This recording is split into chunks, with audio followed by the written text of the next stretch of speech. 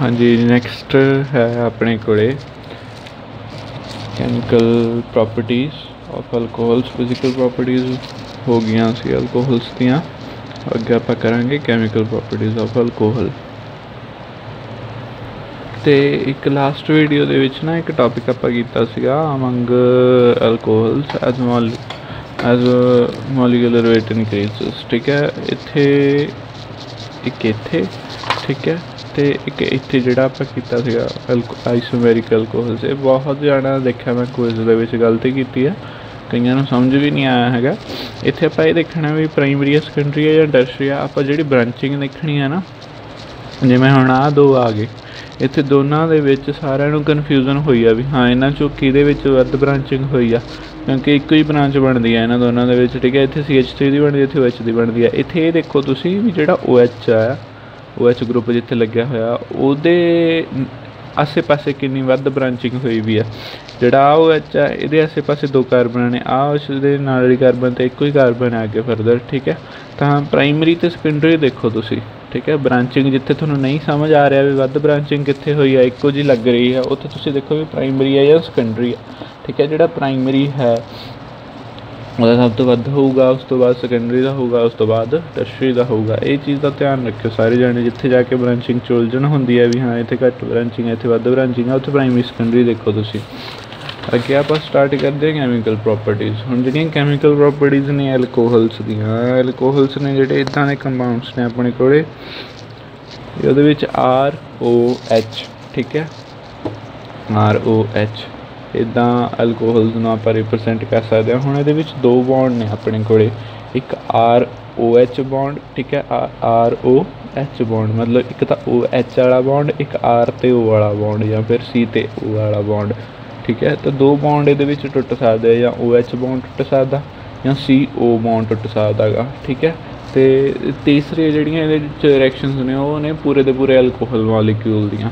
ਪਹਿਲੀਆਂ ਰਿਐਕਸ਼ਨਸ ਇਦਾਂ ਦੀਆਂ ਜਿੱਥੇ OH ਬੌਂਡ ਸਪਲਿਟ ਹੋਊਗਾ, ਦੂਸਰੀਆਂ ਰਿਐਕਸ਼ਨਸ ਇਦਾਂ ਦੀਆਂ ਜਿੱਥੇ CO ਬੌਂਡ ਸਪਲਿਟ ਹੋਊਗਾ, ਤੀਸਰੀਆਂ ਰਿਐਕਸ਼ਨ ਇਦਾਂ ਦੀਆਂ ਜਿੱਥੇ ਸਾਰੇ ਦਾ ਸਾਰਾ ਮੋਲੀਕਿਊਲ ਇਨਵੋਲਵ ਹੋਊਗਾ, ਠੀਕ ਹੈ? ਕੋਈ ਇੱਕ ਪਾਰਟਿਕੂਲਰ ਬੌਂਡ ਨਹੀਂ ਹੋਣਾ।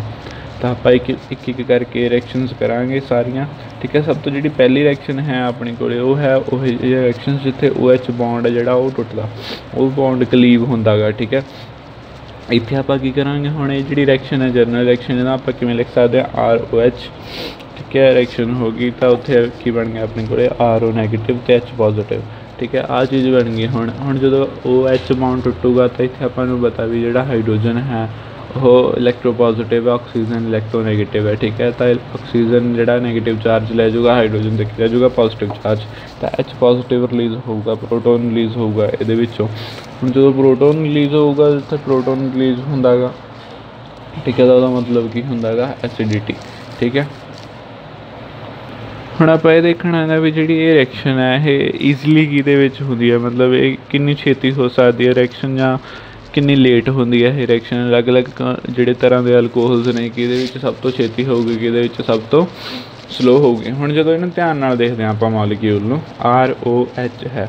ਠੀਕ ਹੈ, ਉਹ ਇਲੈਕਟ੍ਰੋਨੈਗੇਟਿਵ ਹੈ, ਤਾਂ ਉਹ ਕੀ ਕਰੂਗਾ ਆ ਬੌਂਡ ਦੇ ਇਲੈਕਟ੍ਰੋਨਸ ਆਪਣੇ ਵੱਲ ਖਿੱਚ ਕੇ ਰੱਖੂਗਾ। ਤੇ ਜਿੰਨੇ ਵੱਧ ਇਲੈਕਟ੍ਰੋਨਸ ਉਹ ਖਿੱਚੂਗਾ ਉਨਾ ਹੀ ਛੇਤੀ ਜਿਹੜਾ ਐਚ ਲੂਜ਼ ਹੋਊਗਾ, ਇਥੋਂ ਐਚ ਪੋਜ਼ਿਟਿਵ ਬਣ ਕੇ। ਠੀਕ ਹੈ, ਤਾਂ ਉਹਨੇ ਕੰਮ, ਮਤਲਬ ਜਿਹੜਾ ਸਾਰਾ ਕੰਮ ਕਰਨਾ, ਉਹ ਕਿਨੇ ਕਰਨਾ? ਉਹਨੇ ਕਰਨਾ। ਉਹ, ਉਹਨੇ ਐਚ ਦੇ ਇਲੈਕਟ੍ਰੋਨਸ ਉਹ ਐਚ ਬੌਂਡ ਦੇ ਇਲੈਕਟ੍ਰੋਨ ਖਿੱਚ ਲੈਣੇ ਐਚ ਜਿਹੜਾ ਐਚ ਪੋਜ਼ਿਟਿਵ ਬਣ ਕੇ ਰਿਲੀਜ਼ ਹੋ ਜਾਊਗਾ। ਹੁਣ O ਦੀ ਜਿਹੜੀ ਕਪੈਸਿਟੀ ਹੈ, ਉਹ ਕੌਣ ਡਿਸਾਈਡ ਕਰੂਗਾ? R ਠੀਕ ਹੈ ਉਹਨੇ ਇਲੈਕਟ੍ਰੋਨ ਖਿੱਚਣੇ ਆ H ਤੋਂ। ਹੁਣ ਜੇ ਆਰ ਜਿਹੜਾ ਹੈ, ਕੋਈ ਵੱਡਾ ਸਾਰਾ ਮਿਥਾਈਲ ਐਲਕਾਈਲ ਗਰੁੱਪ ਹੈ, ਠੀਕ ਹੈ? ਜੇ ਤਾਂ ਛੋਟਾ ਐਲਕਾਈਲ ਗਰੁੱਪ ਹੈ, ਹੁਣ ਆਪਾਂ ਨੂੰ ਪਤਾ ਐਲਕਾਈਲ ਗਰੁੱਪਸ ਹੁੰਦੇ ਆ ਜਿਹੜੇ ਉਹ ਇਲੈਕਟ੍ਰੋਨ ਡੋਨੇਟਿੰਗ ਕਪੈਸਿਟੀ ਹੁੰਦੀ ਆ ਉਹਨਾਂ ਦੀ, ਠੀਕ ਹੈ? ਇਲੈਕਟ੍ਰੋਨ ਡੋਨੇਟਿੰਗ ਕੈਪੈਸਿਟੀ ਕਹਿ ਲਓ ਜਾਂ ਫਿਰ ਕਹਿ ਲਓ ਪਲੱਸ ਆਈ ਇਫੈਕਟ ਜਿਹੜਾ inductive effect plus inductive effect show ਕਰਦੇ ਨੇ ਉਹ। ਮਤਲਬ ਉਹ ਇਲੈਕਟ੍ਰੋਨਸ ਡੋਨੇਟ ਕਰਦੇ ਨੇ। ਹੁਣ ਐਲਕਾਈਲ ਗਰੁੱਪ ਜੇ ਛੋਟਾ ਹੈ ਤਾਂ ਘੱਟ ਇਲੈਕਟ੍ਰੋਨਸ ਡੋਨੇਟ ਕਰੂਗਾ ਆਕਸੀਜਨ ਨੂੰ। ਜੇ ਵੱਡਾ ਹੈ, ਮਤਲਬ ਪ੍ਰਾਇਮਰੀ ਸੈਕੰਡਰੀ ਅਤੇ ਟਰਸ਼ਰੀ ਠੀਕ ਹੈ? ਪ੍ਰਾਇਮਰੀ ਹੈ ਇੱਕ ਕਾਰਬਨ ਹੈ, ਤਾਂ ਉਹ ਘੱਟ ਇਲੈਕਟ੍ਰੋਨਸ ਡੋਨੇਟ ਕਰੂ, ਜੇ ਦੋ ਕਾਰਬਨਸ ਨੇ ਤਾਂ ਦੁੱਗਣੇ ਕਰਨਗੀਆਂ, ਜੇ ਤਿੰਨ ਨੇ ਤਾਂ ਉਦੋਂ ਤਿੰਨ ਗੁਣਾ ਕਰਨਗੀਆਂ, ਠੀਕ ਹੈ? ਜੇ ਤਿੰਨ ਕਾਰਬਨਸ ਨੇ ਤਾਂ ਸਭ ਤੋਂ ਵੱਧ ਇਲੈਕਟ੍ਰੋਨਸ ਡੋਨੇਟ ਕਰਨਗੀਆਂ, ਤਾਂ ਆਕਸੀਜਨ ਕੋਲ ਇਲੈਕਟ੍ਰੋਨ ਡੈਂਸਿਟੀ ਪਹਿਲਾਂ ਹੀ ਇਨਕਰੀਜ਼ ਹੋ ਜੂਗੀ, ਉਹ OH ਬੌਂਡ ਤੋਂ ਨਹੀਂ ਇਲੈਕਟ੍ਰੋਨਸ ਜਿਹੜੇ ਹੈਗੇ ਆ, ਉਹ ਖਿੱਚੂਗਾ, ਠੀਕ ਹੈ? ਬਾਕੀ ਉਹਨੂੰ ਕਾਰਬਨਾਂ ਤੋਂ ਹੀ ਇੰਨੇ ਇਲੈਕਟ੍ਰੋਨਸ ਮਿਲ ਰਹੇ ਨੇ, ਤਾਂ ਉਸ ਕੇਸ ਦੇ ਵਿੱਚ ਟਰਸ਼ਰੀ ਦੇ ਵਿੱਚ ਜਿੱਥੇ ਤਿੰਨ ਕਾਰਬਨਸ ਇਲੈਕਟ੍ਰੋਨ ਡੋਨੇਟ ਕਰ ਰਹੀਆਂ ਨੇ ਆਕਸੀਜਨ ਕੋਲੇ, ਪਹਿਲਾਂ ਹੀ ਇਲੈਕਟ੍ਰੋ ਇਲੈਕਟ੍ਰੋਨ ਡੈਂਸਿਟੀ ਬਹੁਤ ਜ਼ਿਆਦਾ ਹੈ, ਉਹ ਹਾਈਡਰੋਜਨ ਤੋਂ ਨਹੀਂ ਖਿੱਚੂਗਾ ਇਲੈਕਟ੍ਰੋਨਸ ਤੇ ਉੱਥੇ ਐਚ ਲੂਜ਼ ਕਰਨਾ ਸਭ ਤੋਂ ਔਖਾ ਹੋਊਗਾ।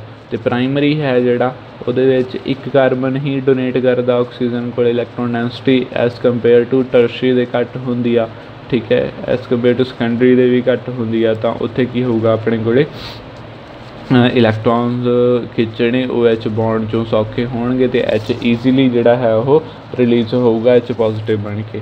ਠੀਕ ਹੈ, ਤਾਂ ਜਿਹੜਾ ਆਰਡਰ ਹੈ ਉਹ ਕੀ ਹੈ? ਆਪਣੇ ਕੋਲ ਆਰਡਰ ਪ੍ਰਾਇਮਰੀ ਸਭ ਤੋਂ ਵੱਧ, ਫਿਰ ਉਸ ਤੋਂ ਘੱਟ ਸੈਕੰਡਰੀ ਉਸ ਤੋਂ ਘੱਟ ਟਰਸ਼ਰੀ ਮਤਲਬ ਪ੍ਰਾਇਮਰੀ ਸਭ ਤੋਂ ਛੇਤੀ ਐਚ ਪੋਜ਼ੀਟਿਵ ਰਿਲੀਜ਼ ਕਰੂਗਾ ਟਰਸ਼ਰੀ ਸਭ ਤੋਂ ਸਲੋ ਐਚ ਪੋਜ਼ੀਟਿਵ ਜਿਹੜਾ ਹੈ ਉਹ ਰਿਲੀਜ਼ ਕਰੂਗਾ।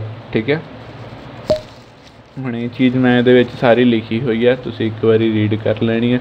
ਠੀਕ ਹੈ, ਚਾਹੇ ਵੀਡੀਓ ਪਾਜ਼ ਕਰਕੇ, ਚਾਹੇ ਨੋਟਸ ਦੇ ਵਿੱਚੋਂ ਕਰ ਲਿਓ, ਇਹ ਸਾਰੀ ਚੀਜ਼ ਜਿਹੜੀ ਮੈਂ ਤੁਹਾਨੂੰ ਸਮਝਾਈ ਹੈ, ਇਹਦੇ ਵਿੱਚ ਲਿਖਤੀ ਹੈ ਮੈਂ। ਠੀਕ ਹੈ ਨੈਕਸਟ ਹੈ ਆਪਣੇ ਕੋਲੇ ਆਰਡਰ ਠੀਕ ਹੈ। ਹੁਣ ਮਿਥਾਈਲ ਹੈ ਜਿਹੜਾ, ਉਹਦੇ ਵਿੱਚ ਆਪਾਂ ਨੂੰ ਪਤਾ ਵੀ ਕੋਈ ਵੀ ਐਲਕਾਈਲ ਗਰੁੱਪ ਨਹੀਂ ਹੁੰਦਾ।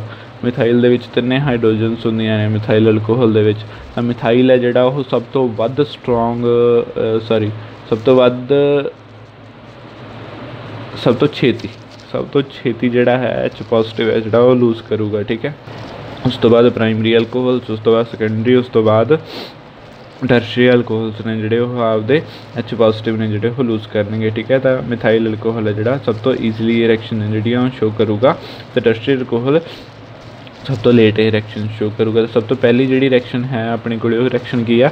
ਐਸਿਡਿਕ ਨੇਚਰ ਵੀ ਉਹਨੂੰ ਆਪਾਂ ਕਹਿ ਦਿੰਦੇ ਆ ਜਾਂ ਫਿਰ reaction with active metals reaction with metals ਜਿਹੜੀਆਂ ਮੈਟਲਸ ਹੁੰਦੀਆਂ ਨੇ ਐਕਟਿਵ ਮੈਟਲਸ ਜਿਵੇਂ sodium lithium potassium magnesium aluminium ਇੱਦਾਂ ਦੀਆਂ ਮੈਟਲਸ ਨੇ ਜਿਹੜੀਆਂ ਇਹ ਐਕਟਿਵ ਮੈਟਲਸ ਹੁੰਦੀਆਂ ਨੇ, ਮਤਲਬ ਈਜ਼ੀਲੀ ਕਿਸੇ ਚੀਜ਼ ਨਾਲ ਵੀ ਇਹ ਰਿਐਕਟ ਕਰ ਜਾਂਦੀਆਂ ਨੇ। ਠੀਕ ਹੈ, ਜਦੋਂ ਇਹ ਐਲਕੋਹਲਸ ਨਾਲ ਰਿਐਕਟ ਕਰਨਗੀਆਂ, ਤਾਂ ਜਿਵੇਂ ਹੁਣ ਆਪਣੇ ਕੋਲ ਸੋਡੀਅਮ ਹੈ ਵਨ ਪੋਜ਼ਿਟਿਵ ਹੈ, ਤਾਂ ਇੱਕ ਵਨ ਪੋਜ਼ਿਟਿਵ ਚਾਰਜ ਜੇ ਸੋਡੀਅਮ ਦਾ, ਤਾਂ ਐਲਕੋਹਲ ਚੋਂ ਵੀ ਵਨ ਪੋਜ਼ਿਟਿਵ ਨਿਕਲੂਗਾ ਵਨ ਪੋਜ਼ਿਟਿਵ ਕਿੱਥੋਂ ਨਿਕਲੂਗਾ? ਹਾਈਡਰੋਜਨ ਜਦੋਂ ਨਿਕਲੂਗਾ ਤਾਂ। ਠੀਕ ਹੈ। ਮੰਨ ਲਓ ਸੋਡੀਅਮ ਹੈ ਆਪਣੇ ਨਾਲ, ਇੱਥੋਂ ਸੋਡੀਅਮ ਇਹਦੇ ਨਾਲ ਰਿਐਕਟ ਕਰਦਾ ਤਾਂ ਕੀ ਬਣ ਜੂ? CH3 CH2ONA O negative Na positive ਕਿਉਂਕਿ ਆਇਨਿਕ ਬੌਂਡ ਹੈ ਇੱਕ ਗੱਲ ਦਾ ਧਿਆਨ ਰੱਖਿਓ, ਇਹ ਬੌਂਡ ਕੋਵੈਲੈਂਟ ਸੀਗਾ। ਇੱਥੇ ਬੌਂਡ ਜਿਹੜਾ ਆਇਨਿਕ ਬਣਿਆ, ਸਿਰਫ ਇੰਟਰੈਕਸ਼ਨ ਹੋਈ। ਬੌਂਡ ਨਹੀਂ ਬਣਿਆ ਇੰਟਰੈਕਸ਼ਨ ਜਿਹੜੀ ਆ ਆਇਨਸ ਦੀ ਹੋਈ, ਤਾਂ ਕਰਕੇ ਆਇਨਿਕ ਬੌਂਡ ਉਸ ਤੋਂ ਬਾਅਦ H2 ਠੀਕ ਹੈ।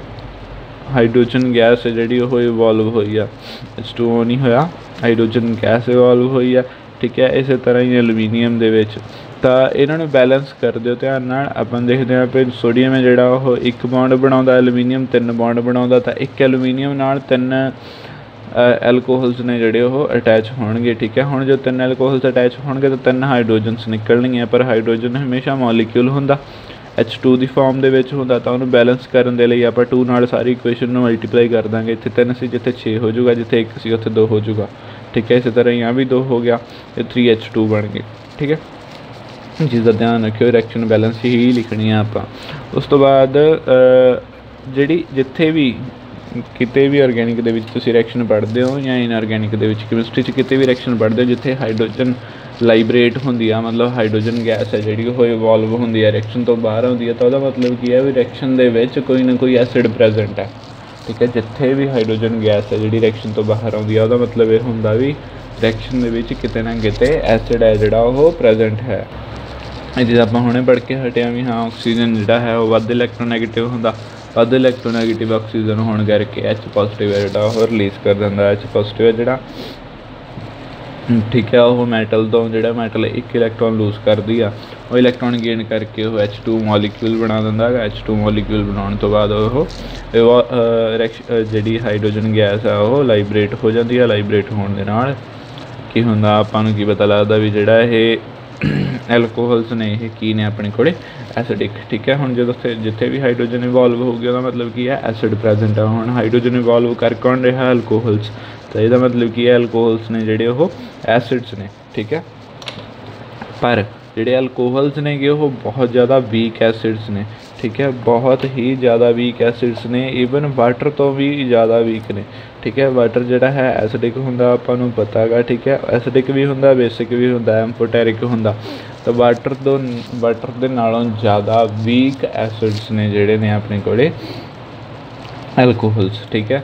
ਹੁਣ ਇਹ ਰਿਐਕਸ਼ਨ ਇਹ ਆਪਾਂ ਨੂੰ ਕਿਵੇਂ ਪਤਾ ਲੱਗਿਆ? ਆਪਾਂ ਇੱਕ ਰਿਐਕਸ਼ਨ ਦੇਖੀ ਜਿਹਦੇ ਵਿੱਚ ਆਪਣੇ ਕੋਲੇ ਮੈਟਲ ਅੱਛਾ, ਜਿਹੜੀ ਇੱਕ ਇਹ ਚੀਜ਼ ਬਣੂਗੀ ਨਾ R O M R O negative M positive ਠੀਕ ਹੈ? ਜਿਵੇਂ ਆ ਬਣ ਗਿਆ ਆਪਣੇ ਕੋਲੇ, ਤਾਂ ਇਹਨੂੰ ਆਪਾਂ ਕੀ ਕਹਾਂਗੇ? ਸੋਡੀਅਮ ਇਥੋਕਸਾਈਡ ਠੀਕ ਹੈ? ਤੇ ਇਹਨਾਂ ਦਾ ਆਪਾਂ ਨਾਮ ਕੀ ਲਿਖਾਂਗੇ ਮੈਟਲ ਐਲਕੋਕਸਾਈਡ ਠੀਕ ਹੈ? ਐਲਕੋਹਲ ਤੋਂ ਕੀ ਬਣਿਆ?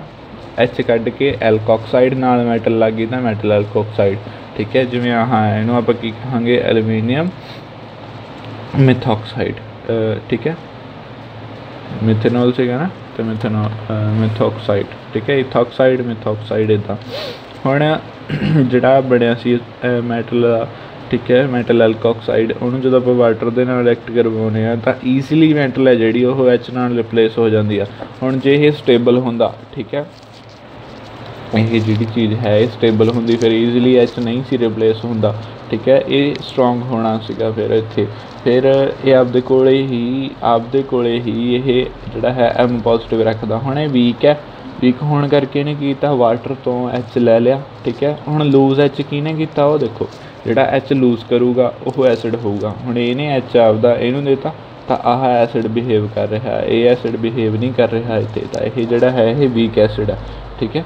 ਜਿਹੜਾ ਆ ਬਣਿਆ ਆਪਣੇ ਕੋਲੇ ROH ਇਹ ਆਪਦਾ H ਨਹੀਂ ਲੂਜ਼ ਕਰ ਰਿਹਾ ਵਾਟਰ ਆਪਣਾ H ਲੂਜ਼ ਕਰ ਰਿਹਾ, ਤਾਂ ਇਹ ਜਿਹੜਾ ਹੈ ਵੀਕ ਐਸਿਡ ਹੈ ਆ ਜਿਹੜਾ ਹੈ ਇਹ ਸਟਰੋਂਗ ਐਸਿਡ ਹੈ। ਇਹ ਤੁਹਾਨੂੰ ਚੌਥੇ ਸਮੈਸਟਰ ਦੇ ਵਿੱਚ ਆਊਗਾ ਐਸਿਡ ਬੇਸ ਚ ਆ ਕੇ।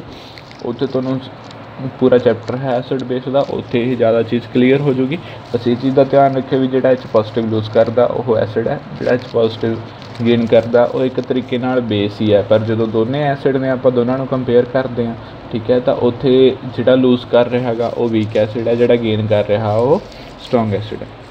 ਠੀਕ ਹੈ ਸੌਰੀ ਜਿਹੜਾ ਲੂਜ਼ ਕਰ ਰਿਹਾ, ਉਹ ਸਟਰੋਂਗ ਐਸਿਡ ਹੈ, ਜਿਹੜਾ ਗੇਨ ਕਰ ਰਿਹਾ, ਉਹ ਵੀਕ ਐਸਿਡ ਹੈ। ਠੀਕ ਹੈ। ਹੁਣ ਇਹ ਹੁੰਦਾ ਕਿਉਂ? ਜਿਹੜਾ ਐਲਕਾਈਲ ਗਰੁੱਪ ਹੈ, ਠੀਕ ਹੈ, ਉਹ ਆਕਸੀਜਨ ਨੂੰ ਇਲੈਕਟ੍ਰੋਨਸ ਦੇਈ ਜਾਂਦਾ, ਆਪਦੇ ਇੱਥੇ ਹਾਈਡਰੋਜਨ ਹੈ ਜਿਹੜਾ ਉਹ ਆਕਸੀਜਨ ਨੂੰ ਇਲੈਕਟ੍ਰੋਨਸ ਨਹੀਂ ਦੇ ਰਿਹਾ। ਇੱਥੇ ਆਰ ਗਰੁੱਪ ਆਕਸੀਜਨ ਨੂੰ ਇਲੈਕਟ੍ਰੋਨ ਦੇ ਰਿਹਾ, ਤਾਂ ਕਰਕੇ ਆਕਸੀਜਨ ਦੇ ਇਲੈਕਟ੍ਰੋਨ ਡੈਂਸਿਟੀ ਵਧੀ ਜਾਂਦੀ ਹੈ। ਇਲੈਕਟ੍ਰੋਨ ਡੈਂਸਿਟੀ ਜਦੋਂ ਇੱਥੇ ਵਧੂਗੀ ਨੈਗੇਟਿਵ ਚਾਰਜ ਵਧੂਗਾ। ਜਦੋਂ ਨੈਗੇਟਿਵ ਚਾਰਜ ਵਧੂਗਾ, ਤਾਂ ਇਹ H ਨੂੰ ਗੇਨ ਕਰੂਗਾ, H ਨੂੰ ਲੂਜ਼ ਨਹੀਂ ਕਰੂਗਾ, ਠੀਕ ਹੈ? ਤਾਂ ਕਰਕੇ ਇਹ ਰਿਐਕਸ਼ਨਸ ਹੁੰਦੀਆਂ ਨਹੀਂ ਆਪਣੇ ਕੋਲ। ਹੁਣ ਨੈਕਸਟ ਹੈ ਆਪਣੇ ਕੋਲੇ comparison of acidic strength of primary secondary and tertiary alcohols ਮਤਲਬ ਪ੍ਰਾਇਮਰੀ ਸੈਕੰਡਰੀ ਤੇ ਟਰਸ਼ਰੀ ਐਲਕੋਹਲਸ ਨੂੰ ਜੇ ਆਪਾਂ ਕੰਪੇਅਰ ਕਰੀਏ, ਕਿਹੜਾ ਵੱਧ ਐਸਿਡਿਕ ਹੈ, ਕਿਹੜਾ ਘੱਟ ਐਸਿਡਿਕ ਹੈ, ਇਹ ਟ੍ਰੈਂਡਸ ਨੇ ਜਿਹੜੇ ਇਹ ਇੱਕ ਇੱਕ ਨੰਬਰ ਵਾਲੇ, ਜਿਹੜੇ ਦੋ ਦੋ ਨੰਬਰ ਵਾਲੇ ਕੁਐਸਚਨਸ ਹੁੰਦੇ ਆ ਆਪਣੇ ਕੋਲੇ, ਉਹਨਾਂ ਦੇ ਵਿੱਚ ਜਾਂ ਫਿਰ ਜਿਹੜਾ ਵੱਡਾ ਕੁਐਸਚਨ ਹੁੰਦਾ 4 ਨੰਬਰ ਵਾਲਾ, ਉਹਦੇ ਵਿੱਚ ਪਾਰਟ ਬਣ ਕੇ। ਤਿੰਨ ਨੰਬਰ ਦਾ ਅੱਡਾ ਆ ਗਿਆ ਇੱਕ ਨੰਬਰ ਦਾ ਇਹ ਕੁਸ਼ਚਨ ਆ ਗਿਆ ਇੱਦਾਂ ਦੇ ਕੁਸ਼ਚਨ ਆ ਜਾਂਦੇ ਨੇ ਇੱਦਾਂ ਦੇ ਹੀ ਆਉਂਦੇ ਨੇ ਆਰਗੈਨਿਕ ਦੇ ਵਿੱਚ ਟ੍ਰੈਂਡਸ ਵੀ ਇਹਨਾਂ ਦੋਨਾਂ ਚੋਂ ਕਿਹੜਾ ਵੱਧ ਐਸਿਡਿਕ ਹੋਊਗਾ ਜਾਂ ਇਹ ਤਿੰਨਾਂ ਦੇ ਵਿੱਚੋਂ ਇਹਨਾਂ ਨੂੰ ਅਰੇਂਜ ਕਰੋ ਐਸਿਡਿਕ ਆਰਡਰ ਦੇ ਵਿੱਚ, ਤਾਂ ਇਹ ਚੀਜ਼ਾਂ ਦਾ ਹਮੇਸ਼ਾ ਤੁਸੀਂ ਧਿਆਨ ਰੱਖਣਾ ਹੈ ਠੀਕ ਹੈ ਤਾਂ ਇਹਦੇ ਵਿੱਚ ਹੋਊਗਾ ਕਿ ਹੁਣ ਪ੍ਰਾਇਮਰੀ ਸੈਕੰਡਰੀ ਟਰਸ਼ਰੀ ਆਪਾਂ ਦੇਖਿਆ ਸੀਗਾ ਵੀ ਜਿਹੜਾ ਪ੍ਰਾਇਮਰੀ ਹੈ, ਠੀਕ ਹੈ ਉਹਦੇ ਵਿੱਚੋਂ ਸਭ ਤੋਂ ਈਜ਼ੀਲੀ ਐਚ ਪੋਜ਼ਿਟਿਵ ਉਹ ਲੂਜ਼ ਕਰਦਾ, ਫਿਰ ਉਸ ਤੋਂ ਬਾਅਦ ਸੈਕੰਡਰੀ ਉਸ ਤੋਂ ਬਾਅਦ ਟਰਸ਼ਰੀ ਕਰਦਾ, ਠੀਕ ਹੈ? ਇਹ ਆਪਾਂ ਡਿਟੇਲ ਦੇ ਵਿੱਚ ਪੜ੍ਹ ਲਿਆ। ਤੇ ਜਿਹੜਾ ਮਿਥਾਈਲ ਹੈ, ਉਹ ਸਭ ਤੋਂ ਛੇਤੀ ਕਰਦਾ। ਗੰਗਾ ਦੇ ਵਿੱਚ ਕੋਈ ਵੀ ਅਲਕਾਈਲ ਗਰੁੱਪ ਨਹੀਂ ਹੁੰਦਾ, ਤਾਂ ਇਹਦਾ ਆਰਡਰ ਕੀ ਹੋ ਗਿਆ? ਮਿਥਾਈਲ ਅਲਕੋਹਲ ਸਭ ਤੋਂ ਵੱਧ ਐਸਿਡਿਕ ਹੋਊਗਾ, ਉਸ ਤੋਂ ਬਾਅਦ ਪ੍ਰਾਇਮਰੀ ਅਲਕੋਹਲਸ ਉਸ ਤੋਂ ਬਾਅਦ ਸੈਕੰਡਰੀ ਉਸ ਤੋਂ ਬਾਅਦ ਟਰਸ਼ਰੀ ਅਲਕੋਹਲਸ ਠੀਕ ਹੈ? ਕੰਪੈਰੀਜ਼ਨ ਜੇ ਆਪਾਂ ਕਰਦੇ ਹਾਂ ਸਟਿਕ ਸਟ੍ਰੈਂਥ ਦਾ ਐਲਕੋਹਲਸ ਦੀ ਤਾਂ ਹੁਣ ਜੇ ਤੁਹਾਡੇ ਕੋਲ ਐਗਜ਼ਾਮਪਲਸ ਆ ਜਾਂਦੀਆਂ ਨੇ ਵੀ ਹਾਂ, ਇਹਨਾਂ ਨੂੰ ਕੰਪੇਅਰ ਕਰੋ ਜਾਂ ਇਹਨਾਂ ਨੂੰ ਇਨਕਰੀਜ਼ਿੰਗ ਜਾਂ ਡਿਕਰੀਜ਼ਿੰਗ ਆਰਡਰ ਦੇ ਵਿੱਚ ਲਿਖੋ, ਤੁਸੀਂ ਸਿਰਫ ਇਹ ਦੇਖਣਾ ਵੀ ਇਹ ਪ੍ਰਾਇਮਰੀ ਹੈ ਸੈਕੰਡਰੀ ਹੈ ਜਾਂ ਟਰਸ਼ਰੀ ਹੈ। ਪ੍ਰਾਇਮਰੀ ਸਭ ਤੋਂ ਵੱਧ ਹੋਊਗਾ ਸੈਕੰਡਰੀ ਸਭ ਤੋਂ ਘੱਟ ਹੋਊਗਾ ਟਰਸ਼ਰੀ ਉਸ ਤੋਂ ਘੱਟ ਹੋਊਗਾ। ਮੰਨ ਲਓ ਦੋ ਪ੍ਰਾਇਮਰੀ ਆ ਗਏ ਤੁਹਾਡੇ ਕੋਲੇ, ਠੀਕ ਹੈ, ਉਹਦੇ ਵਿੱਚ ਇਹ ਦੇਖਣਾ ਵੀ ਅੱਗੇ ਜਿਹੜੀ ਫਰਦਰ ਚੇਨ ਆ, ਉਹਦੇ ਵਿੱਚ ਕਿੰਨੀਆਂ ਕਾਰਬਨਸ ਨੇ, ਜਿਹਦੇ ਵਿੱਚ ਵੱਧ ਕਾਰਬਨ ਆ। ਠੀਕ ਹੈ, ਉਹਦਾ ਉਹ ਮਤਲਬ ਉਹਦੇ ਵਿੱਚ ਵੱਧ ਕਾਰਬਨਸ ਨੇ ਤਾਂ ਵੱਧ ਇਲੈਕਟ੍ਰੋਨਸ ਡੋਨੇਟ ਕਰਨਗੀਆਂ ਤਾਂ ਉਹਦਾ ਜਿਹੜਾ ਹੈ ਐਸਿਡਿਕ ਕਰੈਕਟਰ ਉਹਦਾ ਘੱਟ ਹੋਊਗਾ ਐਸ ਕੰਪੇਅਰ ਟੂ ਘੱਟ ਕਾਰਬਨਾਂ ਵਾਲੇ ਦੇ, ਠੀਕ ਹੈ। ਨੈਕਸਟ ਹੈ ਰਿਐਕਸ਼ਨ ਵਿਦ ਗ੍ਰਿਗਨਟ ਏਜੰਟ ਪਹਿਲੀ ਰਿਐਕਸ਼ਨ ਸੀ ਐਸਿਡਿਕ ਸਟਰੈਂਥ ਵਾਲੀ, ਦੂਸਰੀ ਹੈ ਗ੍ਰਿਗਨਟ ਏਜੰਟ ਵਾਲੀ। ਗ੍ਰਿਗਨਟ ਏਜੰਟ ਆਪਾਂ ਨੂੰ ਪਤਾ ਕੀ ਹੁੰਦਾ ਹੈਗਾ? R M G X R M G X alkyl magnesium halide ਠੀਕ ਹੈ, ਇਹਦੇ ਨਾਲ ਜਦੋਂ R ਡੈਸ਼ OH ਰਿਐਕਟ ਕਰਦਾ ਹੈਗਾ ਤਾਂ ਇਹਦੇ ਵਿੱਚ ਕੀ ਹੁੰਦਾ ਹੈਗਾ ਗ੍ਰਿਗਨਟ ਰੀਐਜੈਂਟ ਦਾ ਆਰ ਤੇ ਐਲਕੋਹਲ ਦਾ H, ਇਹ ਮਿਲ ਕੇ ਐਲਕੇਨ ਬਣਾ ਦਿੰਦੇ ਨੇ, ਠੀਕ ਹੈ? ਗ੍ਰਿਗਨਟ ਰੀਐਜੈਂਟ ਦੀ ਐਲਕਾਈਲ ਗਰੁੱਪ ਠੀਕ ਹੈ, ਤੇ ਐਲਕੋਹਲ ਦੀ ਹਾਈਡਰੋਜਨ ਇਹ ਦੋਨੇ ਮਿਲ ਕੇ ਐਲਕੇਨ ਬਣਾ ਦਿੰਦੇ ਨੇ, ਇੱਥੇ ਗੜਬੜ ਨਾ ਕਰ ਦਿਓ, ਇਹਦੀ ਆਰ ਡੈਸ਼ ਦੀ ਐਲਕੇਨ ਨਾ ਬਣਾ ਦਿਓ ਆਰ ਡੈਸ਼ ਜਿਹੜਾ O ਨਾਲ ਰਹੂਗਾ ਤੇ MgX ਨਾਲ ਜਾ ਕੇ ਲੱਗ ਜੂਗਾ ਇਹ। ਠੀਕ ਹੈ। ਜਿਹੜਾ ਇਹਦਾ ਆਰ ਹੈ ਗ੍ਰਿਗਨਟ ਰੀਏਜੈਂਟ ਦਾ, ਉਹ ਹਾਈਡਰੋਜਨ ਲੈ ਜੂਗਾ ਐਬਸਟ੍ਰੈਕਟ ਕਰਕੇ, ਕਿਉਂਕਿ ਇੱਥੇ ਧਿਆਨ ਰੱਖਿਓ ਵੀ ਜਿਹੜਾ ਐਲਕੋਹਲ ਹੈ, ਉਹ H ਪੋਜ਼ਿਟਿਵ ਰਿਲੀਜ਼ ਕਰੂਗਾ। ਤਾਂ ਆਰ ਡੈਸ਼ ਉਹ ਇਕੱਠਾ ਰਹਿ ਜਾਊਗਾ। H ਪੋਜ਼ਿਟਿਵ ਜਿਹੜੀ ਆ, ਉਹ ਕਿਹਦੇ ਨਾਲ ਲੱਗੂ ਜਾ ਕੇ? ਆਰ ਨੈਗੇਟਿਵ ਨਾਲ, ਠੀਕ ਹੈ। ਐੱਮ ਜੀ ਐਕਸ ਪੋਜ਼ਿਟਿਵ ਰਹਿ ਗਿਆ, ਉਹ ਆ ਨੈਗੇਟਿਵ ਰਹਿ ਗਿਆ, ਤਾਂ ਇਹ ਨੈਗੇਟਿਵ ਪੋਜ਼ਿਟਿਵ ਇਹ ਨੈਗੇਟਿਵ ਪੋਜ਼ਿਟਿਵ ਆਪਸ ਚ ਐਡ ਹੋ ਜਾਂਦੇ, ਤਾਂ ਐਲਕੀਨ ਬਣ ਗਈ ਆਰ ਡੈਸ਼ ਉਹ ਐਮ ਜੀ ਐਕਸ ਬਣਿਆ।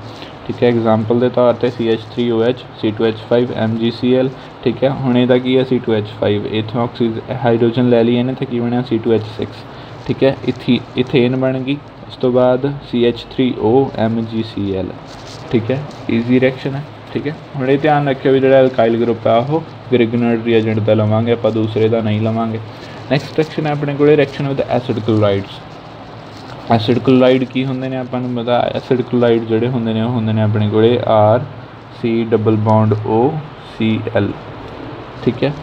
ਹੁਣ ਜਿਹੜਾ ਆਰ ਗਰੁੱਪ ਹੈ, ਇਸ ਗਰੁੱਪ ਨੂੰ ਆਪਾਂ ਕਹਿੰਦੇ ਆ R C double bond O ਨੂੰ ਅਸਾਈਲ ਗਰੁੱਪ ਠੀਕ ਹੈ? ਸੀ Cl ਲੱਗ ਗਿਆ ਤਾਂ ਅਸਾਈਲ ਕਲੋਰਾਈਡ ਜਾਂ ਫਿਰ ਐਸਿਡ ਕਲੋਰਾਈਡ ਠੀਕ ਹੈ? ਕੁਝ ਵੀ ਇਹਨੂੰ ਤੁਸੀਂ ਕਹਿ ਸਕਦੇ ਹੋ। ਤਾਂ ਐਸਿਡ ਕਲੋਰਾਈਡਸ ਹੀ ਇਹਨੂੰ ਆਪਾਂ ਕਹਿੰਦੇ ਆ ਇਨ ਜਨਰਲ ਜਦੋਂ ਐਸਿਡ ਕਲੋਰਾਈਡਸ ਨਾਲ ਅਲਕੋਹਲ ਰਿਐਕਟ ਕਰਨਗੇ ਤਾਂ ਉਹਦੇ ਵਿੱਚ ਹੋਊਗਾ ਕਿ ਜਿਹੜਾ ਉਹ H ਗਰੁੱਪ ਹੈ, ਉਹ ਰਿਪਲੇਸ ਹੋ ਜਾਊਗਾ ਓ ਗਰੁੱਪ ਦੇ ਨਾਲ, ਠੀਕ ਹੈ? ਜੋ ਤੁਸੀਂ ਧਿਆਨ ਨਾਲ ਦੇਖੋਗੇ ਇਸ ਚੀਜ਼ ਨੂੰ, ਠੀਕ ਹੈ? ਮਤਲਬ ਇਦਾਂ ਲਗਾ ਲਓ ਵੀ ਆਪਣੇ ਕੋਲੇ ਜਿਹੜਾ ਐਲਕੋਹਲਸ ਦੇ ਵਿੱਚੋਂ ਸਿਰਫ H ਰਿਮੂਵ ਹੋਊਗੀ। ਰਿਮੂਵ ਸਿਰਫ H ਹੋਊਗੀ, ਪਰ ਰਿਐਕਸ਼ਨ ਨੂੰ ਈਜ਼ੀਲੀ ਯਾਦ ਰੱਖਣ ਦੇ ਲਈ ਆਪਾਂ ਕੀ ਕਹਾਂਗੇ OH ਗਰੁੱਪ ਹੈ ਜਿਹੜਾ ਉਹ RCO ਦੇ ਨਾਲ ਰਿਪਲੇਸ ਹੋ ਜਾਊਗਾ, ਠੀਕ ਹੈ? ਇਹ ਕਿਉਂ ਕਿਹਾ ਆਪਾਂ? ਕਿਉਂਕਿ ਜੇ ਆਪਾਂ ਦੇਖਦੇ ਹਾਂ ਧਿਆਨ ਨਾਲ ਤਾਂ OH ਇਦਾਂ ਹੁੰਦਾ, ਠੀਕ ਹੈ? ਤੇ ਜਿਹੜਾ R C sorry R C double bond O ਹੈ, ਉਹ ਇਦਾਂ ਹੈ। ਠੀਕ ਹੈ? ਤਾਂ ਸੀ ਦੇ ਨਾਲ ਉਹ ਲੱਗੀ ਹੁੰਦੀ, ਫਿਰ ਆਪਾਂ ਈਜ਼ੀਲੀ ਕਹਿ ਦਿੰਦੇ ਵੀ H ਛੱਡ ਕੇ ਬਾਕੀ ਗਰੁੱਪ ਲੱਗ ਗਿਆ। ਠੀਕ ਹੈ? ਹੁਣ ਜਿਹੜੀ ਸੀ ਦੇ ਨਾਲ ਉਹ ਤਾਂ ਹੈ, ਠੀਕ ਹੈ? ਪਰ ਆਪਾਂ R C double bond O ਲਿਖਣਾ ਤਾਂ ਆਪਾਂ ਲਿਖਾਂਗੇ ਓ ਐਚ ਗਰੁੱਪ ਆ ਜਿਹੜਾ R C double bond O ਦੇ ਨਾਲ ਉਹ ਰਿਪਲੇਸ ਹੋ ਗਿਆ। ਠੀਕ ਹੈ? ਉਸ ਤੋਂ ਬਾਅਦ ਨਹੀਂ, ਮੈਨੂੰ ਲੱਗਦਾ ਇੱਥੇ ਕੁਝ ਗੜਬੜ ਹੈ ਇੱਥੇ ਆਪਾਂ ਕੱਲੀ ਹਾਈਡਰੋਜਨ ਹੀ ਕਰਦੇ ਹਾਂ, ਕਿਉਂਕਿ ਆਪਾਂ ਹਾਈਡਰੋਜਨ ਕੱਢਣੀ ਹੈ ਤੇ ਕਾਨੂੰ ਐਵੇਂ, ਠੀਕ ਹੈ, ਉਹ ਹੋਣਾਗਾ। ਕਨਫਿਊਜ਼ ਹੋਣਾ। ਹਾਂਜੀ, ਹੁਣ ਠੀਕ ਹੈ। ਮੈਂ ਇੱਥੇ ਲਿਖਤਾ ਹਾਈਡਰੋਜਨ ਆਫ OH ਗਰੁੱਪ ਠੀਕ ਹੈ OH ਗਰੁੱਪ ਦੀ ਹਾਈਡਰੋਜਨ ਹੈ ਜਿਹੜੀ, ਉਹ ਰਿਪਲੇਸ ਹੁੰਦੀ ਆ RCO ਦੇ ਨਾਲ। ਠੀਕ ਹੈ ਗਾਨੋ ਐਵੇਂ ਉਲਝਣ ਚ ਪੈਣਾ, ਲੱਗਣੀਆਂ ਤਾਂ ਦੋ ਆਕਸੀਜਨ ਹੀ ਨੇ। ਹਾਂਜੀ, ਹੁਣ ਉਸ ਤੋਂ ਬਾਅਦ ਜਦੋਂ ਆਪਾਂ ਚੱਲਦੇ ਹਾਂ ਰਿਐਕਸ਼ਨ ਦੇ ਵਿੱਚ ਹੋਊਗਾ ਕੀ, ਤਾਂ ਐਸੀਟਾਈਲ ਕਲੋਰਾਈਡ ਹੈ CH3COCl ਠੀਕ ਹੈ, ਉਹ ਇਥੇਨੋਲ ਦੇ ਨਾਲ ਰਿਐਕਟ ਕਰਦਾ ਤੇ ਇਹਦੇ ਵਿੱਚ ਹੋਊਗਾ ਕਿ ਦੇਖੋ ਇਧਰੋਂ ਤੁਸੀਂ ਆਪਾਂ H ਕੱਢਣੀ ਕੱਲੀ ਇਧਰੋਂ H ਕੱਢ ਲਓ ਹੁਣ ਇਧਰੋਂ ਤੁਸੀਂ ਦੇਖੋ ਧਿਆਨ ਨਾਲ ਤਾਂ CH3CO ਨੇ ਐਡ ਹੋਣਾ ਠੀਕ ਹੈ ਤਾਂ Cl ਨਿਕਲੂਗੀ ਸਿਰਫ ਤਾਂ ਇਥੋਂ ਕੀ ਜਾਊਗਾ ਬਾਹਰ HCl ਠੀਕ ਹੈ HCl ਬਾਹਰ ਕੱਢ ਦਿਓ ਬਾਕੀ ਸਾਰੇ ਦਾ ਸਾਰਾ ਮੋਲੀਕਿਊਲ ਜੋੜ ਦਿਓ CH3CO OC2H5 CH3CO OC2H5 ਠੀਕ ਹੈ ਇਹ ਚੀਜ਼ ਹੋ ਗਈ ਬਣਿਆ ਕਿ ਇਥਾਈਲ ਐਸੀਟੇਟ ਆ ਬਣਿਆ ਇਥਾਈਲ ਠੀਕ ਹੈ ਉਸ ਤੋਂ ਬਾਅਦ ਦੋ ਕਾਰਬਨ ਤਾਂ ਇਹ ਇਹ ਕੀ ਬਣਨਾ ਹੁੰਦਾ CH3COH ਐਸੀਟਿਕ ਐਸਿਡ H ਕੱਢਤੀ ਤਾਂ ਐਸੀਟੇਟ ਤਾਂ ਇਥਾਈਲ ਐਸੀਟੇਟ ਬਣ ਗਿਆ ਆਪਣੇ ਕੋਲੇ। ਠੀਕ ਹੈ? ਅੱਛਾ, ਜੇ ਆਪਾਂ ਬੈਂਜ਼ਾਈਲ ਕਲੋਰਾਈਡ ਯੂਜ਼ ਕਰਦੇ ਆ ਤਾਂ ਉਸ ਮਤਲਬ ਇਥਨੋਲ ਦੇ ਨਾਲ ਹੀ ਤਾਂ ਆਪਣੇ ਕੋਲੇ ਕੀ ਬਣ ਜੂਗਾ ਇਥਾਈਲ ਬੈਂਜ਼ੋਏਟ ਇਥਾਈਲ ਆ ਬਣਿਆ ਆਪਣੇ ਕੋਲੇ ਬੈਂਜ਼ੋਏਟ ਠੀਕ ਹੈ? ਆ ਹੋ ਗਈ ਆਪਣੀ। ਨੈਕਸਟ ਹੈ ਆਪਣੇ ਕੋਲੇ ਹੁਣ ਮਕੈਨਿਜ਼ਮ ਮਕੈਨਿਜ਼ਮ ਦੇ ਵਿੱਚ ਕੀ ਆ ਜਾਊਗਾ ਵੀ ਇਹ ਰਿਐਕਸ਼ਨ ਹੁੰਦੀ ਕਿਦਾਂ ਹੈ, ਇਹ ਰਿਐਕਸ਼ਨ ਆਕਰ ਕਿਦਾਂ ਕਰਦੀ ਹੈ, ਠੀਕ ਹੈ? ਇਹ ਚੀਜ਼ ਦੇਖਣ ਦੇ ਲਈ ਆਪਾਂ ਕੀ ਕਰਾਂਗੇ? ਸਭ ਤੋਂ ਪਹਿਲਾਂ ਸਟਾਰਟ ਕਰਾਂਗੇ। ਰਿਐਕਸ਼ਨ ਨੂੰ ਜਦੋਂ ਸਟਾਰਟ ਕਰਾਂਗੇ ਤਾਂ ਰਿਐਕਸ਼ਨ ਸਟਾਰਟ ਕਿਵੇਂ ਹੋਊਗੀ? ਨਿਊਕਲੀਓਫਿਲਿਕ ਅਟੈਕ ਹੋਊਗਾ। ਐਲਕੋਹਲ ਦੀ ਆਕਸੀਜਨ ਦੇ ਇਲੈਕਟ੍ਰੋਨਸ ਦਾ ਲੋਨ ਪੇਅਰਸ ਦਾ ਕਾਰਬੋਨਲ ਕਾਰਬਨ ਦੇ ਉੱਪਰ, ਠੀਕ ਹੈ? ਤਾਂ ਹੋਊਗਾ ਕਿ ਇਹ ਚੀਜ਼ ਆਪਾਂ ਦੇਖਦੇ ਹਾਂ। ਸਭ ਤੋਂ ਪਹਿਲਾਂ ਤਾਂ ਕਾਰਬੋਨਲ ਕਾਰਬਨ ਬਣਾਉਣੇ R C double bond C Cl ਠੀਕ ਹੈ? ਹੁਣ ਇੱਥੇ ਹੋਊਗਾ ਕਿ ਐਲਕੋਹਲ ਹੈ ਜਿਹੜਾ H ਓ ਆਰ ਅਤੇ ਆਪਾਂ ਨੂੰ ਪਿਆ ਪਤਾ ਵੀ ਆਪਣੇ ਕੋਲੇ ਆਕਸੀਜਨ ਤੇ ਦੋ ਜਿਹੜੇ ਨੇ ਉਹ ਲੋਨ ਪੇਅਰ ਪਏ ਨੇ। ਤਾਂ ਹੁਣ ਇਹ ਲੋਨ ਪੇਅਰਸ ਨੇ ਜਿਹੜੇ, ਇਹ ਇਲੈਕਟ੍ਰੋਨਸ ਨੇ ਇਲੈਕਟ੍ਰੋਨਸ ਨੇ ਜਾ ਕੇ ਜਿਹੜੇ ਇਹ ਕਾਰਬਨ ਤੇ ਅਟੈਕ ਕਰਨਗੇ। ਠੀਕ ਹੈ? ਜਦੋਂ ਇਹਨਾਂ ਨੇ ਕਾਰਬਨ ਤੇ ਅਟੈਕ ਕੀਤਾ ਜਾ ਕੇ ਕਾਰਬਨ ਦੇ ਬਣ ਗਏ ਪੰਜ ਬੌਂਡ ਆ ਇਲੈਕਟ੍ਰੋਨ ਹੋ ਗਿਆ ਇੱਥੇ ਸ਼ਿਫਟ ਸੇਮ ਚੀਜ਼ ਹੈ ਜਿਹੜੀ ਆਪਾਂ ਹੁਣ ਤੱਕ ਹਰੇਕ ਰਿਐਕਸ਼ਨ ਦੇ ਵਿੱਚ ਕਰਦੇ ਆਂ R, C O negative O ਤੇ ਹੋ ਗਏ 6 ਇਲੈਕਟ੍ਰੋਨ ਨੈਗੇਟਿਵ ਸੀ Cl ਇੱਥੇ ਜੁੜ ਗਿਆ O ਆਰ H ਹੁਣ ਆ ਆਕਸੀਜਨ ਦੇ ਵਿੱਚ ਤਿੰਨ ਬੌਂਡ ਬਣ ਗਏ ਆਕਸੀਜਨ ਦੋ ਬੌਂਡ ਬਣਾ ਸਕਦਾ ਤਾਂ ਇੱਥੇ ਕੀ ਆ ਗਿਆ? ਪੋਜ਼ਿਟਿਵ ਚਾਰਜ ਲੋਨ ਪੇਅਰ ਇਹਦੇ ਕੋਲੇ ਸਿਰਫ ਇੱਕ ਰਹਿ ਗਿਆ, ਪਹਿਲਾਂ ਦੋ ਸੀਗੇ, ਠੀਕ ਹੈ? ਹੁਣ ਨੈਕਸਟ ਐਕਸ਼ਨ ਦੇ ਵਿੱਚ ਕੀ ਹੋਊਗਾ? ਜਿਹੜਾ ਆ ਹਾਈਡਰੋਜਨ ਹੈ ਆਕਸੀਜਨ ਤੇ ਕਿਉਂਕਿ ਪੋਜ਼ਿਟਿਵ ਚਾਰਜ ਰਹਿ ਨਹੀਂ ਸਕਦਾ, ਇਹ ਇਲੈਕਟ੍ਰੋਨੈਗੇਟਿਵ ਹੈ, ਤੇ ਇਹ ਇਸ ਹਾਈਡਰੋਜਨ ਤੋਂ ਇਲੈਕਟ੍ਰੋਨਸ ਨੇ ਜਿਹੜੇ ਉਹ ਖਿੱਚ ਲੂਗਾ। ਜਦੋਂ ਇਹਨੇ ਇਸ ਹਾਈਡਰੋਜਨ ਤੋਂ ਜਿਹੜੇ ਇਲੈਕਟ੍ਰੋਨਸ ਨੇ ਉਹ ਖਿੱਚ ਲਏ, ਤੇ ਤੁਹਾਡੇ ਕੋਲ ਇਹ ਰਹਿ ਕੀ ਗਿਆ? ਆਰ ਮਾਈਨਸ H ਪੋਜ਼ਿਟਿਵ ਕਰ ਦੋ ਇੱਥੇ। ਠੀਕ ਹੈ, H ਪੋਜ਼ਿਟਿਵ ਲੂਜ਼ ਕਰਤਾ ਉਹਨੇ। R, C, Cl, O, R R dash ਕਰ ਲਿਓ ਇੱਥੇ। ਈਜ਼ੀ ਹੋ ਜਾਊਗਾ, ਯਾਦ ਰੱਖਣਾ ਵੀ ਕਿਹੜੀ ਐਲਕਾਈਲ ਗਰੁੱਪ ਕਿੱਥੋਂ ਆਇਆ। ਠੀਕ ਹੈ। ਹੁਣ ਉਸ ਤੋਂ ਬਾਅਦ ਆਹ ਚੀਜ਼ ਤਾਂ ਬਣ ਗਈ। ਹੁਣ ਆਹ ਬੌਂਡ ਤਾਂ ਇਹਨੇ ਕਾਰਬਨ ਨੇ ਹੁਣੇ ਬਣਾਇਆ। ਠੀਕ ਹੈ ਆਕਸੀਜਨ ਦੇ ਨੈਗੇਟਿਵ ਚਾਰਜ ਪਿਆ। ਇਹ ਨੈਗੇਟਿਵ ਚਾਰਜ ਕੀ ਕਰੂਗਾ? ਇੱਥੇ ਆ ਜਾਊਗਾ। ਠੀਕ ਹੈ, ਇੱਥੇ ਜਦੋਂ ਆ ਗਿਆ, ਆਹ ਬੌਂਡ ਹੁਣੇ ਬਣਾਇਆ ਆ ਇਹਨੇ ਤੋੜਨਾ ਨਹੀਂ, ਇੱਥੋਂ ਇਲੈਕਟ੍ਰੋਨ ਆਉਂਦੇ ਆ, ਤਾਂ ਆਹ ਬੌਂਡ ਇਹ ਤੋੜ ਦੂਗਾ ਤਾਂ ਕਲੋਰੀਨ ਆਪਣੇ ਕੋਲੇ ਕੀ ਹੈ? Cl ਨੈਗੇਟਿਵ ਜਿਹੜਾ ਹੈ, ਉਹ ਨਿਕਲ ਜੂਗਾ, ਤਾਂ ਰਹਿ ਕੀ ਗਿਆ ਆਪਣੇ ਕੋਲੇ? R C double bond O ਆ ਡਬਲ ਬਣ ਗਿਆ ਬੌਂਡ ਉਸ ਤੋਂ ਬਾਅਦ ਕੀ ਹੈ? O R dash. ਠੀਕ ਹੈ? ਇਹ ਕੀ ਬਣਿਆ ਆਪਣੇ ਕੋਲੇ? ਐਸਟਰ। ਇਨੀ ਕਰੈਕਸ਼ਨ ਸੀ। ਠੀਕ ਹੈ? ਈਜ਼ੀ ਹੈ। ਮਕੈਨਿਜ਼ਮ ਜਿਹੜਾ ਹੈ ਇਹਦਾ, ਸਭ ਤੋਂ ਪਹਿਲਾਂ ਐਲਕੋਹਲ ਦੀ ਆਕਸੀਜਨ ਦੇ ਇਲੈਕਟ੍ਰੋਨਸ ਨੇ ਜਿਹੜੇ ਉਹ ਅਟੈਕ ਕਰਨਗੇ ਕਾਰਬਨ ਦੇ ਉੱਪਰ। ਡਬਲ ਤੋਂ ਬੌਂਡ ਸਿੰਗਲ ਬਣ ਜੂਗਾ 네ਗੇਟਿਵ ਚਾਰਜ ਆ ਜੂਗਾ, ਇੱਥੇ ਬਣ ਗਿਆ ਪੋਜ਼ਿਟਿਵ ਚਾਰਜ ਆ ਗਿਆ ਆਕਸੀਜਨ ਦੇ ਆਕਸੀਜਨ ਇਲੈਕਟ੍ਰੋਨੈਗੇਟਿਵ ਆ ਪੋਜ਼ਿਟਿਵ ਚਾਰਜ ਇੱਥੇ ਰਹਿ ਨਹੀਂ ਸਕਦਾ ਹਾਈਡਰੋਜਨ ਨੇ ਲੂਜ਼ ਕਰਤਾ। ਹਾਈਡਰੋਜਨ ਜਦੋਂ ਇਹਨੇ ਲੂਜ਼ ਕੀਤਾ ਤਾਂ ਉਸ ਤੋਂ ਬਾਅਦ ਕੀ ਹੋਇਆ ਆਪਣੇ ਕੋਲੇ? ਆ ਬੌਂਡ ਇਹਨੇ ਹੁਣੇ ਬਣਾਇਆ ਆ ਬੌਂਡ ਡਬਲ ਹੋ ਗਿਆ ਤਾਂ ਆ ਬੌਂਡ ਇਹ ਤੋੜ ਦੂਗਾ, ਠੀਕ ਹੈ? ਇੱਥੋਂ ਜਦੋਂ ਇਹਨੇ ਬੌਂਡ ਤੋੜਿਆ ਕਲੋਰੀਨ ਨਾਲੋਂ Cl ਨੈਗੇਟਿਵ ਰਿਮੂਵ ਹੋ ਗਿਆ, ਆਪਣੇ ਕੋਲ ਕੀ ਬਣ ਗਿਆ? ਐਸਟਰ ਠੀਕ ਹੈ? ਹੁਣ ਨੈਕਸਟ ਜਿਹੜੀ ਰਿਐਕਸ਼ਨ ਹੈ ਆਪਣੇ ਕੋਲੇ, ਉਹ ਰਿਐਕਸ਼ਨ ਹੈਗੀ ਹੈ ਐਸਿਟਿਕ ਐਨਹਾਈਡਰਾਈਡ ਠੀਕ ਹੈ ਜਾਂ ਐਸਿਡ ਐਨਹਾਈਡਰਾਈਡਸ ਤੁਸੀਂ ਕਹਿ ਸਕਦੇ ਹੋ। ਜੇ ਦੇਖੋ ਤਾਂ, ਇਹਨੂੰ ਚਾਹੇ ਐਸਿਟਿਕ ਕਹਿ ਲਓ, ਚਾਹੇ ਇਹਨੂੰ ਐਸਿਡ ਐਨਹਾਈਡਰਾਈਡ ਕਹਿ ਲਓ। ਇਹ ਹੁੰਦੇ ਕੀ ਨੇ ਆਪਣੇ ਕੋਲੇ? ਐਸਿਡ ਐਨਹਾਈਡਰਾਈਡ ਹੁੰਦੇ ਨੇ, ਜਦੋਂ ਆਪਾਂ ਦੋ ਐਸਿਡ ਦੇ ਮੋਲੀਕਿਊਲਸ ਲੈਣੇ ਆ। ਜਿਵੇਂ ਮੰਨ ਲਓ CH3COOH ਲੈਣੇ ਆ। ਦੋ ਮੋਲੀਕਿਊਲਸ ਲੈ ਲਏ। ਇਹਨਾਂ ਦੋਨਾਂ ਨੂੰ ਜਦੋਂ ਆਪਾਂ ਹੀਟ ਕਰਾਂਗੇ ਤਾਂ ਇਹ ਕੀ ਕਰਨਗੇ? ਵਾਟਰ ਦਾ ਮੋਲੀਕਿਊਲ ਹੈ ਜਿਹੜਾ, ਇਹ ਰਿਲੀਜ਼ ਕਰ ਦੇਣਗੇ। ਜਦੋਂ ਵਾਟਰ ਦਾ ਮੋਲੀਕਿਊਲ ਰਿਲੀਜ਼ ਕਰਨਗੇ ਤਾਂ ਬਣੂਗਾ ਕਿ? CH3CO CH3CO ਇੱਕ ਆਕਸੀਜਨ ਦੋਨਾਂ ਦੀ ਕਾਮਨ ਹੋ ਜੂ ਠੀਕ ਹੈ? ਐਨਹਾਈਡਰਾਈਡ ਦਾ ਮਤਲਬ ਕੀ ਆ ਵੀ ਵਾਟਰ ਹੈ ਜਿਹੜਾ ਉਹ ਰਿਮੂਵ ਕੀਤਾ ਉਹਨੇ। ਐਨਹਾਈਡਰਾਈਡ ਮਤਲਬ ਵਾਟਰ ਰਿਮੂਵ ਕਰਨ ਤੋਂ ਬਾਅਦ ਕਿੱਥੋਂ ਬਣਿਆ? ਐਸਿਡ ਤੋਂ। ਐਸਿਡ ਚੋਂ ਵਾਟਰ ਦਾ ਮੋਲੀਕਿਊਲ ਜਦੋਂ ਰਿਮੂਵ ਕੀਤਾ ਤਾਂ ਕੀ ਬਣ ਗਿਆ? ਐਸਿਡ ਐਨਹਾਈਡਰਾਈਡ ਠੀਕ ਹੈ? ਇਹ ਚੀਜ਼ ਨੂੰ ਧਿਆਨ 'ਚ ਰੱਖਿਓ। ਹੁਣ ਇਹਦੇ ਵਿੱਚ ਵੀ ਸੇਮ ਹੀ ਚੀਜ਼ ਆ। ਹਾਈਡਰੋਜਨ ਆ ਜਿਹੜੀ ਉਹ ਐਚ ਗਰੁੱਪ ਦੀ, ਉਹ ਆਰਸੀਓ ਗਰੁੱਪ ਦੇ ਨਾਲ ਉਹ ਅਟੈਚ ਹੋ ਜਾਂਦੀ ਹੈ, ਠੀਕ ਹੈ? ਜਾਂ ਸੌਰੀ ਰਿਪਲੇਸ ਹੋ ਜਾਂਦੀ ਆ। ਹੁਣ ਇਹਦਾ ਰਿਐਕਸ਼ਨ ਹੈ ਜਿਹੜੀ CH3COO CH3CO ਠੀਕ ਹੈ? ਇਥੇਨੋਲ ਜਦੋਂ ਨਾਲ ਰਿਐਕਟ ਕਰਵਾਵਾਂਗੇ ਤਾਂ ਇਹਦੇ ਵਿੱਚ ਜਿਹੜਾ ਆ ਪੂਰੇ ਦਾ ਪੂਰਾ ਗਰੁੱਪ ਹੈ ਆ ਵਾਲਾ, ਠੀਕ ਹੈ? ਜਦੋਂ ਇਹਨੂੰ ਤੁਸੀਂ, ਇਸ ਗਰੁੱਪ ਨੂੰ ਤੁਸੀਂ, ਠੀਕ ਹੈ? ਇਹਦੇ ਨਾਲ, H ਨਾਲ ਲਾ ਦੇਣਾਗਾ, ਠੀਕ ਹੈ? ਤੇ ਸੌਰੀ ਇਸ ਪੂਰੇ ਦੇ ਪੂਰੇ ਗਰੁੱਪ ਇਥੋਂ ਆਕਸੀਜਨ ਵੀ ਲੈਣੀ ਹੈ।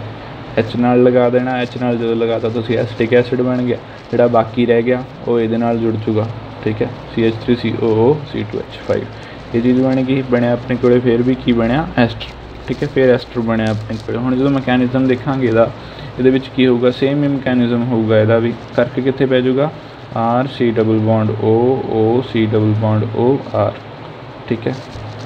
ਪਹਿਲਾਂ ਇੱਕ ਕਾਰਬਨ ਸੀ, ਕਾਰਬਨ ਹੁਣ ਦੋ ਕਾਰਬਨ ਕਾਰਬਨ ਨੇ ਕਿਸੇ ਵੀ ਕਾਰਬਨ ਦੇ ਉੱਪਰ ਅਟੈਕ ਕਰ ਅਟੈਕ ਵੀ ਸੇਮ ਹੀ ਹੋਊਗਾ। ਠੀਕ ਹੈ? ਇੱਥੇ ਅਟੈਕ ਕੀਤਾ ਇਹਨੇ ਤੇ ਬਣਿਆ ਕਿ ਆਪਣੇ ਕੋਲੇ R C double bond O O C O negative R O R H positive ਠੀਕ ਹੈ?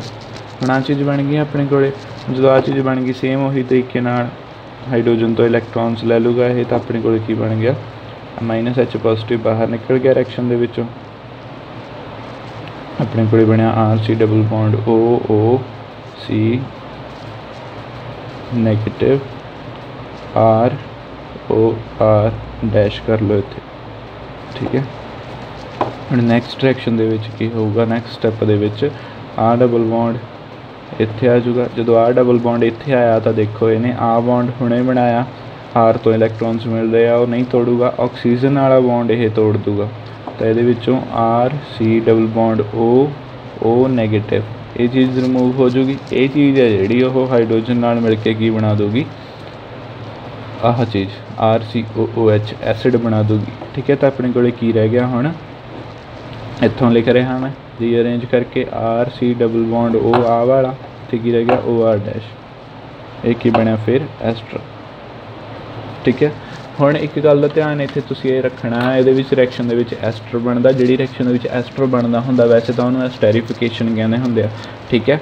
ਪਰ ਜਿਹੜੀਆਂ ਇਹ ਰਿਐਕਸ਼ਨਸ ਨੇ, ਇਹਨਾਂ ਦੇ ਵਿੱਚ ਬਣਤਾ ਐਸਟਰ ਹੀ ਰਿਹਾ, ਪਰ ਠੀਕ ਹੈ ਅਸਾਈਲ ਗਰੁੱਪ ਹੈ ਜਿਹੜਾ, ਉਹ ਇਹਦੇ ਵਿੱਚ ਆ ਰਿਹਾ, ਠੀਕ ਹੈ, ਇਸ ਇਹਨਾਂ ਦੋਨਾਂ ਰਿਐਕਸ਼ਨਸ ਦੇ ਵਿੱਚ, ਜਿਹੜੀਆਂ ਐਸਿਟਿਕ ਐਨਹਾਈਡਰਾਈਡ ਹੈ ਤੇ ਐਸਿਡ ਕਲੋਰਾਈਡ ਦੀ ਰਿਐਕਸ਼ਨ ਹੈ, ਇਹਨਾਂ ਦੋਨਾਂ ਦੇ ਵਿੱਚ ਅਸਾਈਲ ਗਰੁੱਪ ਲੱਗ ਰਿਹਾ, ਤਾਂ ਇਹਨਾਂ ਰਿਐਕਸ਼ਨ ਨੂੰ ਆਪਾਂ ਸਾਈਲੇਸ਼ਨ ਰਿਐਕਸ਼ਨ ਕਹਾਂਗੇ ਤੇ ਐਸਟੈਰੀਫਿਕੇਸ਼ਨ ਰਿਐਕਸ਼ਨ ਨਹੀਂ ਕਹਾਂਗੇ।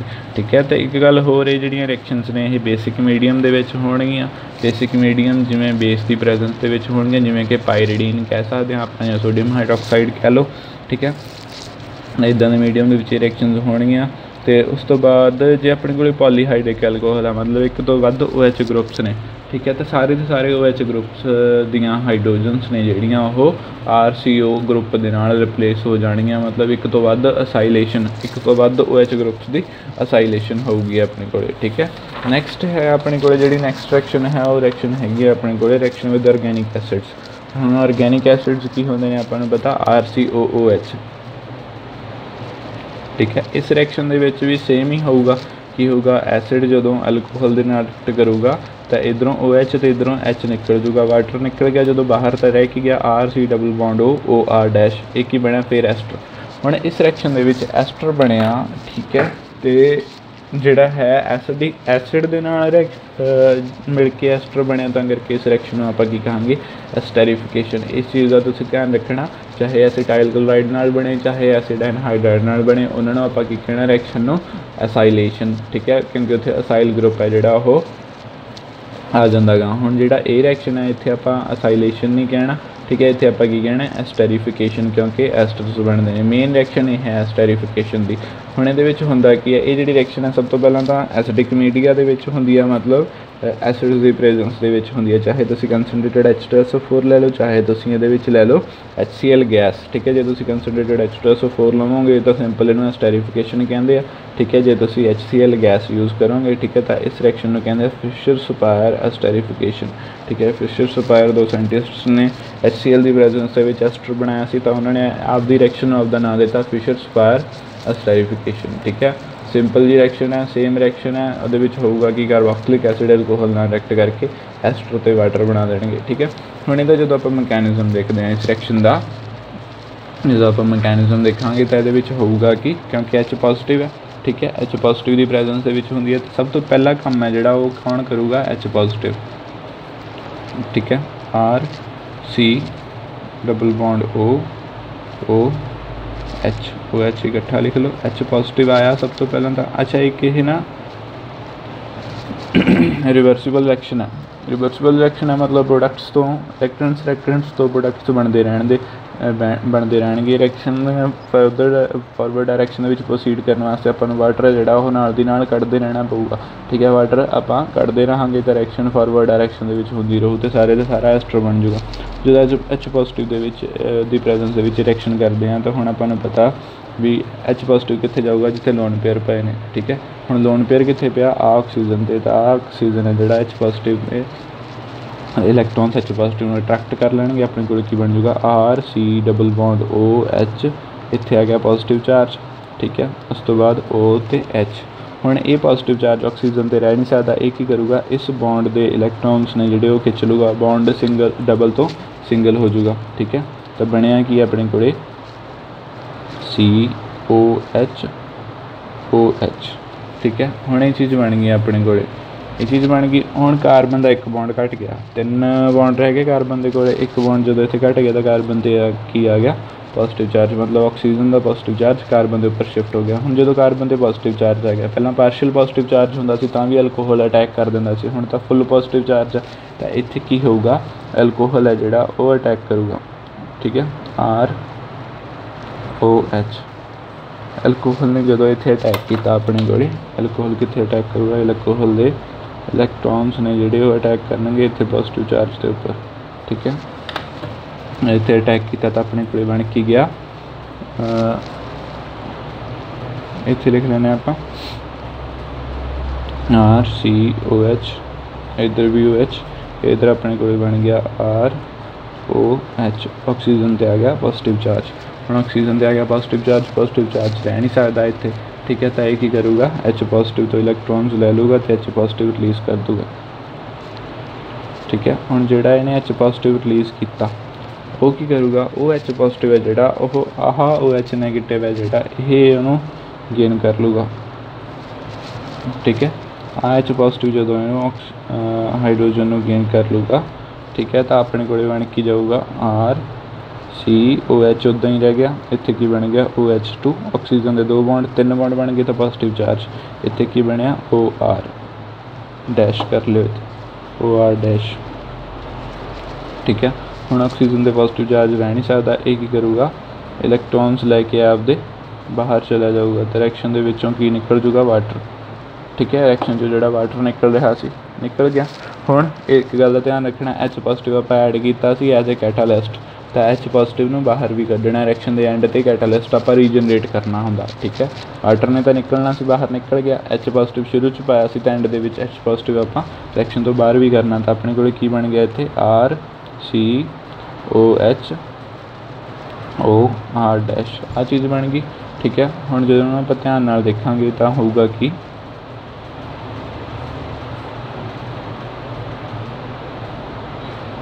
R, C O H O R dash ਠੀਕ ਹੈ, ਹੁਣ ਸੀ ਤੇ ਹੈ ਪੋਜ਼ਿਟਿਵ ਚਾਰਜ ਹੁਣ ਇਹ ਪੋਜ਼ਿਟਿਵ ਚਾਰਜ ਇਧਰੋਂ ਨਹੀਂ ਲੈ ਸਕਦਾ ਕਿਉਂਕਿ ਆਕਸੀਜਨ ਦਾ ਸਿੰਗਲ ਸਿੰਗਲ ਬੌਂਡ ਹੈ, ਇਧਰੋਂ ਨਹੀਂ ਲੈ ਸਕਦਾ, ਲਊਗਾ ਕਿੱਥੋਂ? ਇੱਥੋਂ।